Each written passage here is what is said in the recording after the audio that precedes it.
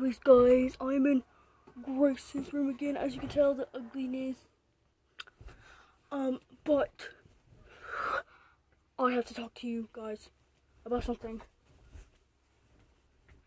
It is amazing. Oh, oh, oh, oh. I'm a self American. I I didn't get hurt.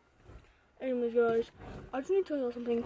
Do you wanna know how luscious my hair is? Like it is the most luscious thing on earth. I don't think you, you understand that. So, I'm not doing anything. Anyways, so really have nothing to do in here except jump on her bed. But I'm not gonna do that, guys. Like literally, I'm not. I was tempted to do it.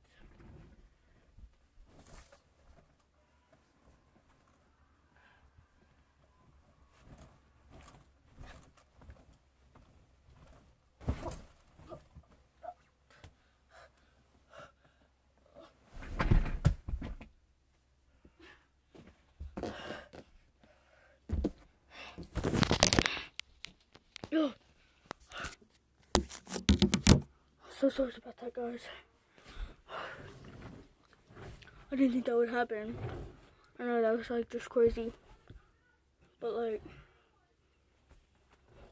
I found this cliff. It looks like a cliff. You'll like it? And then, like, let's look through her journal or whatever it's called. Not a journal.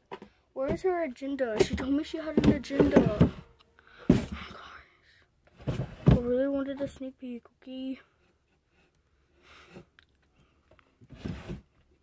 Anyways, guys, I'm just gonna go ahead and go because like I'm so over it. It's so hot in here and like literally it is a mess. So I'm going to go. Goodbye, guys. See you on the flip side. Uh, uh, uh.